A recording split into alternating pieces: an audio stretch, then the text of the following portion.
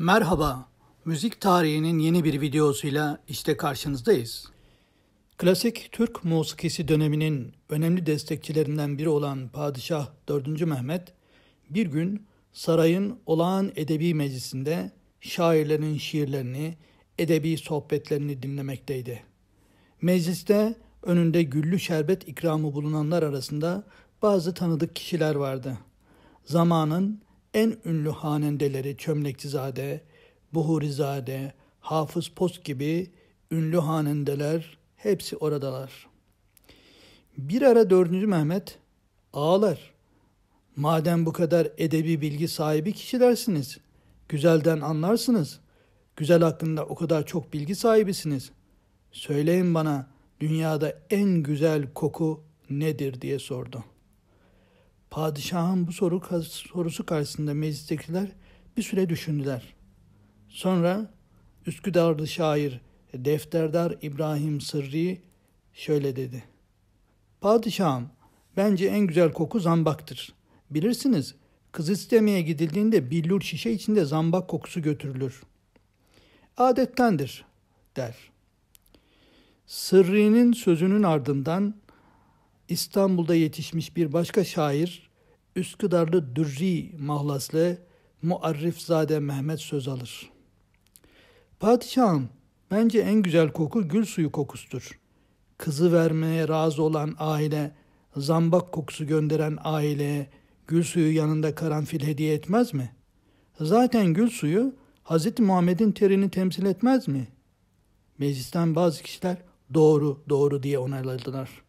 Fakat padişahtan onay sesi çıkmadığını görünce mecliste bulunan Balkan asıllı şair Abdi mahlasını kullanan Abdurrahman Paşa Padişahım en güzel koku miski amberdir. Hem fiyatı da epey yüksektir. Az bulunur. Bu yüzden kıymetlidir. Kıymetli olması en güzel koku olduğunu gösterir. İsterseniz ben saraya temin ederim der.''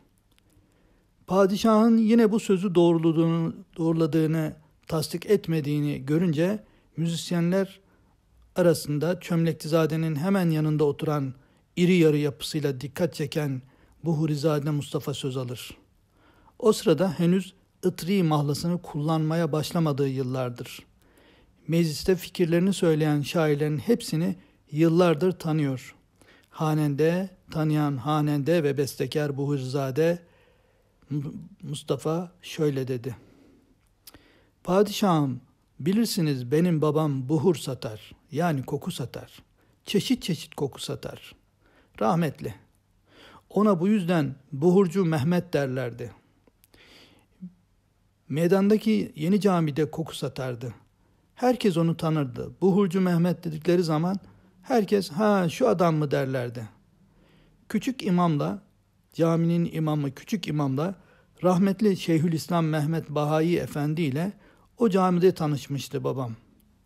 Babam sayesinde gül suyu yanında en çok sevilen buhur sayını, galliye denilen misko amberi, kalyeyi mısır, kalyeyi flamator, zambak ve yasemini, sümbül ve reyhanı, sandal ve kakuleyi, mai asilbent ve ma verdiği, bütün bu kokuların hepsini tanırım, bilirim. Ama onların hiçbirisine en güzel koku diyemem. Size şöyle anlatayım. Ben biliyorsunuz yeni camide küçük imam ve hafız post ile birlikte dini ve müzik eğitimi aldım. Camiye yeni geldiğim yıllarda babama beni buraya bıraktığı için kızgındım. Kur'an ezber ödevlerimi yapmıyordum. Bir gün bu sebepten küçük imam benim yüzüme bir tokat aşk etti. Terbiye için. O gün camiden kaçtım. Sokaklarda yatmaya başladım. Korktuğum için camiden çok uzaklaşamıyordum. Ama babamdan korktuğum için eve de gitmedim. Bir iki gün sonra sokaklarda yiyecek bir şeyler bulmakta zorlanmaya başladım. Bir gece çok acıktım. Caminin üst tarafında fırın var bilirsiniz. Sekban fırını. Yeniçeriler oradan fodula ekmeği alırlar. Tam fırının karşısında gece beklemeye başladım. Fırın açılsın, ekmek yapılsın da fodula ekmeği çalayım diye.'' Neyse beklerken uyuyakalmışım. O, o sırada fırıncı gelmiş, fırını açmış, ekmek pişirmiş. Ben ise tam fırının karşısında uyuduğum yerde burnuma gelen kokuyla uyandım.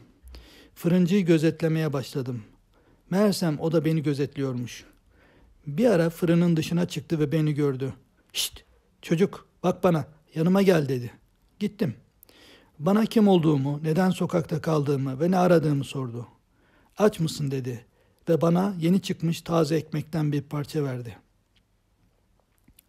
Konuşmalarımız sonunda benim yani yeni camideki kurstan kaçtığımı anlamıştı. Bak evlat dedi. Şimdilik şurada yat. Ekmek olunca birlikte gideceğiz. Kursa döneceksin. Hocanın elini öpeceksin. Diye bana bazı nasihatler verip beni kursa getirdi.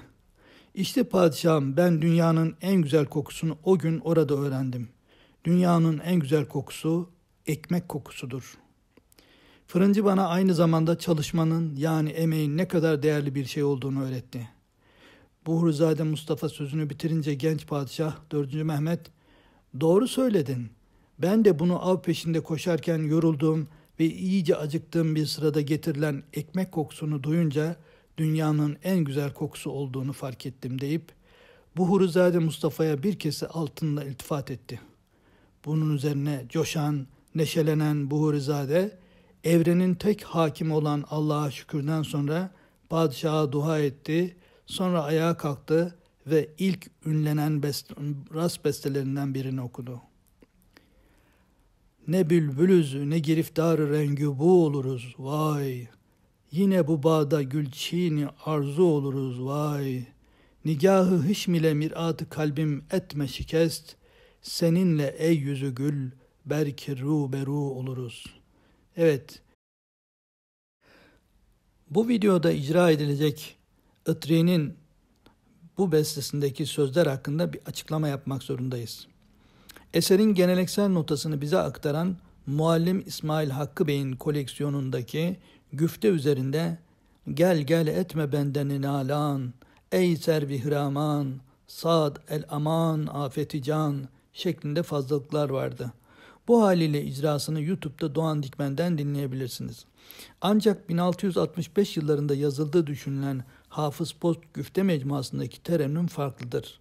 Hafız Post'ta kayıtlı terennüm ayrıca 1703 tarihli Itri'nin güfte mecmuasında, 1770 tarihli güfte mecmuasında, 1801 tarihli Dürbinizade güfte mecmuasında, 1821 tarihli güfte mecmuasında aynı terennümle kaydedilmiştir.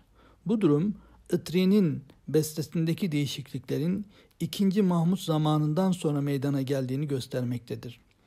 Son Muzikayı Humayun muallimlerinden olan büyük besteci İsmail Hakkı Bey'in nota koleksiyonundaki fazlalıklara 1900 yılında Ahmet Avni Bey'in Hanende mecmuasında da rastlanmaktadır. TRT arşivine buradan intikal etmiştir. Yılmaz Öztun'a Itri kitabındaki güftede bu fazlalıklara yer vermemiştir. Bu videodaki Metin Durgutlu'nun sesinden dinleyeceğiniz icrada fazlalıklar eserin 17. yüzyıldaki orijinali düşünülerek çıkarılmıştır. Şüphesiz 1665 yıllarında yazılan Hafız Post mecmuasındaki bestenin orijinal sözlerine ve özellikle de terennüme dikkat ederek uyarlamaya çalışılmıştır. Yeniden canlandırma kuralları çerçevesinde tadil ve ikmal yöntemi uygulanmıştır. Şimdi ekranda notasını göreceğimiz şekliyle Itri'nin beslediği rast makamındaki semaiyi Metin Durgutlu Üstad'ın icrasından dinleyelim. Ah ne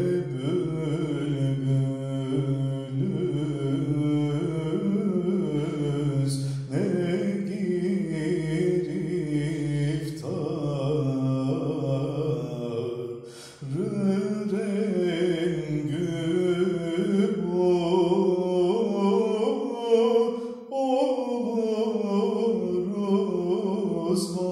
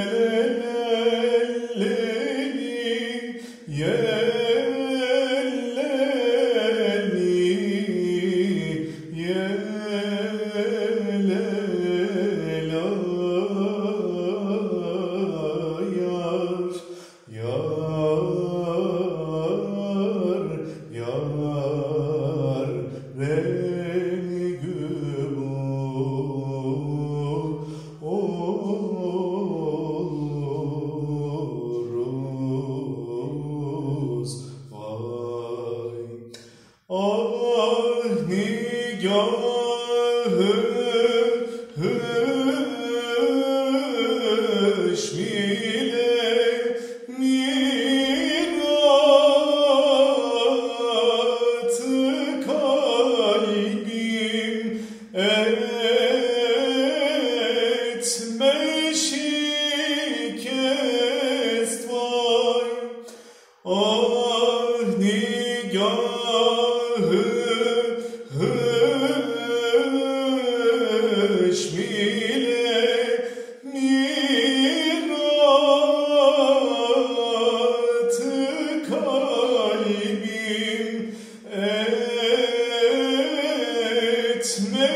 etme